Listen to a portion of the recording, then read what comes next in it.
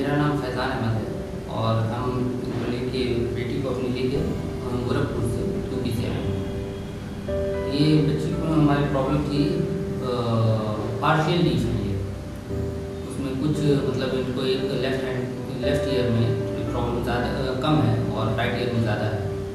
और आपके वहाँ ट्रीटमेंट कराने से भी इनको इम्प्रूवमेंट हुआ है और ये नॉर्मली सुनने की कोशिश अब कर रहे हैं। आगे और तेज़ी से